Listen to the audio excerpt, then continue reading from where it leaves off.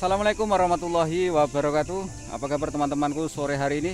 Mudah-mudahan kita tetap dalam lindungan Tuhan Yang Maha Kuasa Selalu diberi kesehatan Panjang umurnya, murah rezekinya Dan tetap semangat menjalani aktivitas kita Sesuai profesi kita ya. Oke teman-temanku Kali ini atau sore hari ini eh, Saya berada di lokasi perkebunan Mas Rahman. Yaitu Mas Rahman ini adalah eh, salah satu pengurus kelompok tani sahabat alam ya yaitu tepatnya di Kelurahan Purnama Kota Dumai Provinsi Riau teman-teman. Jadi di belakang saya ini sini ya ada uh, tanaman terong, terong eh, tumpang sari dengan cabai rawit setan ya. Cabai rawit setan dan di belakang sana juga ada sedikit di belakang kantor sekretariatnya. Sana ada yang menggunakan uh, polybag dan menggunakan pot. Sana ada cabai merah keriting, cabai rawit setan dan juga ada uh, tanaman lainnya teman-temanku. Oke, kita akan ke sana teman-teman. Namun seperti biasa teman-temanku sebelum nonton lebih lanjut eh, saya mohon dukungannya untuk mendukung channel Petani Kampung ini agar lebih cepat maju, cepat berkembang dan saya tetap semangat membuat konten-konten terbaru tentang eh, sekitar eh, kehidupan pertanian yang ada di kampung saya Kota Dumai Provinsi Riau teman-teman. Oke, lanjut ke sana.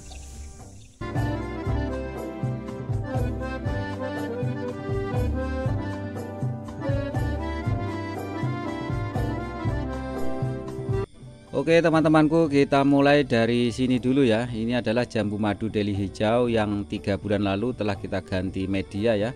Menggunakan media kompos dari kotoran sapi dan kita campur dengan sekam bakar ya. Kita fermentasi selama satu bulan.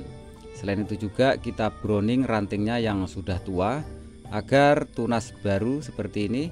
Dan hasilnya ya Alhamdulillah teman-teman sudah kelihatan bunganya ya sudah kelihatan bunganya lumayan banyak ya. Selain itu juga di sini kita menanam cabai rawit eh, cabai rawit setan ya. Ini tidak banyak yang di eh, polybag atau di dalam pot ya. Ini karena potnya besar maka dalam satu pot kita tanam tiga batang. Ini sudah berumur satu bulan setengah setelah tanam. Dan hasilnya ya sangat memuaskan ini teman-temanku. Ini tanpa pupuk kimia kita di kelompok tani sahabat alam ini e, menggunakan pola organik e, semuanya ya teman-teman ya. Baik racun hamanya racun jamurnya kita tetap menggunakan pola organik dengan racian kita sendiri. Memanfaatkan daun-daun yang ada di alam e, kota Dumai Provinsi Riau teman-teman. Selain itu juga di sini ada terong. Ini terong ungu ya. Ini sebanyak 30 batang memang sengaja kita tanam di polybag karena kita memanfaatkan perkarangan rumah yang masih e, tersisa teman-teman. Jadi ini mudah-mudahan bisa menjadi inspirasi buat teman-teman atau penyemangat teman-teman yang masih memiliki perkarangan rumah bisa kita manfaatkan untuk penanaman jenis-jenis palawija seperti ini ya. Ini adalah cabai merah keriting.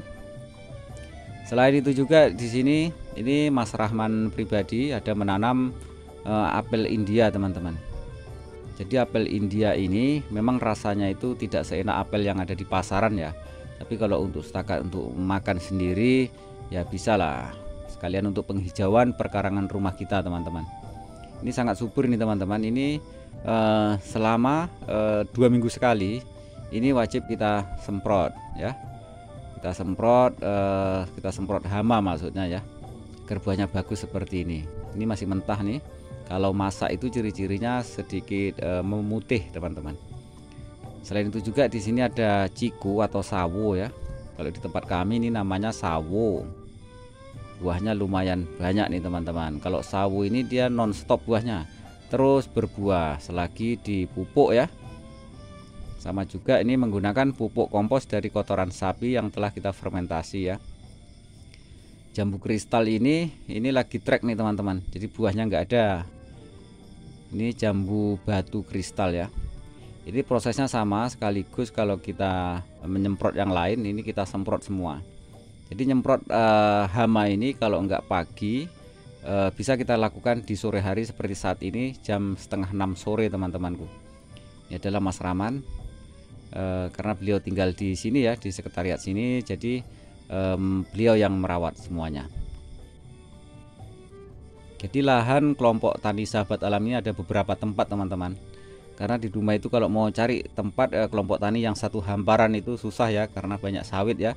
jadi kelompok taninya itu setiap satu anggota mempunyai lahan masing-masing seperti itu ya teman-temanku ini adalah jambu madu kristal yang sudah berbunga juga nih ini sama tiga bulan yang lalu kita ganti media dan alhamdulillah sudah menunjukkan hasilnya teman-temanku. Seperti ini medianya. Ini kita murni dalam pot nih teman-teman. Jadi di bawahnya itu enggak ada kita tembuskan ya atau akarnya merambat ke tanah ya.